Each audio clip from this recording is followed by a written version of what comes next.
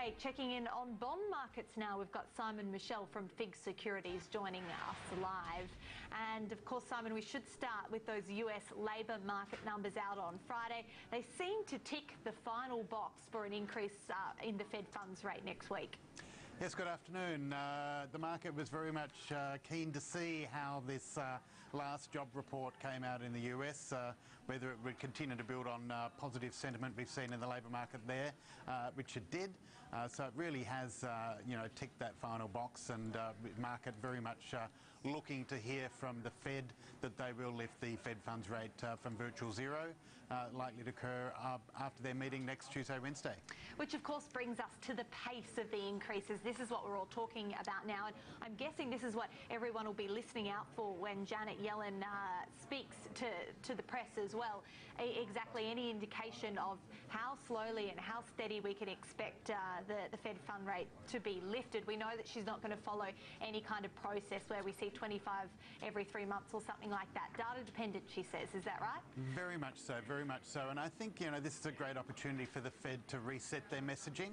Um, you know, they, uh, they missed uh, the September liftoff. That caused a little bit of uh, volatility in the market. So I think now that the market sort of uh, in uh, that increase in December, it's all about, you know, where to next. And uh, I think uh, what you'll hear from the Fed is that you know, they've now reset that uh, Fed funds rate off of the virtual zero level. Uh, but, you know, markets should not be looking for a flurry of further increases. Uh, they're likely to be very slow, very moderate. It could be that the Fed actually indicates that, uh, you know, don't expect any further move for them uh, for 2016. Uh, you know, they'll certainly be looking to see a global reaction, looking to see how the other central banks react as well.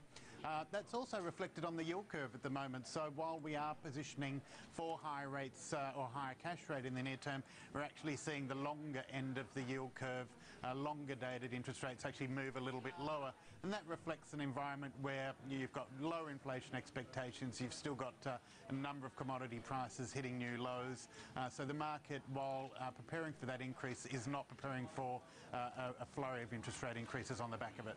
I wonder what, what impact are commodity prices having at the moment on longer term rates? We saw iron ore fall into the 30s, uh, for example. Uh, oil still under pressure at the moment. Look, they certainly do play into that lower inflation forecasting, and uh, you know, as those prices have lowered, as we've also seen intervention by China as well, and uh, devaluation of the yuan, that certainly had an impact on uh, those countries that import those goods.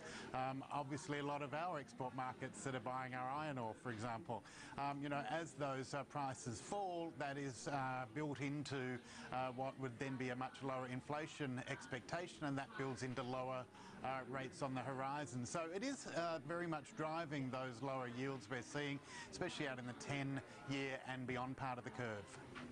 And let's just finish off with a preview of the Aussie unemployment numbers, which are due out on Thursday, of course. Do you think we'll stick to that 5.9%, which was a bit of a shock for us, I must say? Look, it was, and uh, I think, uh, you know, it's uh, all about the US at the moment, so let's not forget we do have a bit of info uh, coming out for Australia, and uh, obviously uh, our um, employment market has been a big focus, um, you know, still very much a high level of underemployment and very low wages growth. look, I think the market's certainly looking for some improvement or some jobs growth. Uh, it'll be really about the participation rate, whether we get an increase there, uh, but market pretty much on point for a steady, uh, same in uh, unemployment rate as last month of 5.9. All right, Simon Michell, thank you so much for joining us. Have a good afternoon. Thank you. You too.